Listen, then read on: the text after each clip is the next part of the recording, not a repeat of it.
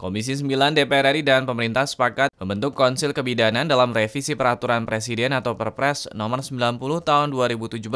DPR RI pun optimis rancangan undang-undang kebidanan dapat segera dirampungkan dalam upaya memberikan perlindungan terhadap seluruh bidan di Indonesia. Ditemui di Gedung Nusantara 1 Senayan Jakarta baru-baru ini, anggota Komisi 9 DPR RI Abidin Fikri mengatakan ada titik krusial terkait dengan pembahasan konsil kebidanan dan seluruh anggota dewan sudah satu suara terkait dengan hal tersebut. Ya, eh, hari ini ada titik krusial yang pembahasannya cukup alot berkaitan dengan pasal 39A yang mengatur tentang konsil kebidanan.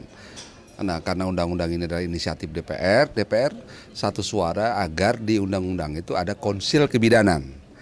Nah, sepertinya pemerintah uh, sudah uh, juga sepaham Abidin Fikri menyatakan, bidan memiliki tugas yang sangat berat dan tersebar di seluruh daerah di Indonesia. Oleh karena itu harus ada undang-undang yang melindunginya. Abidin Fikri menambahkan dengan disepakatinya hal krusial terkait dengan rancangan undang-undang kebidanan antara Dewan dengan pemerintah, diharapkan rancangan undang-undang kebidanan dapat segera rampung demi kesejahteraan seluruh bidan di Indonesia.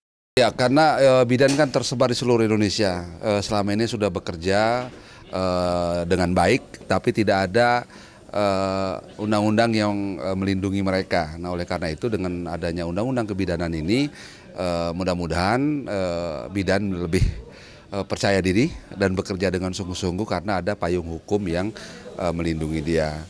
Zikri dan Dodi Muharam, TVR Parlemen melaporkan.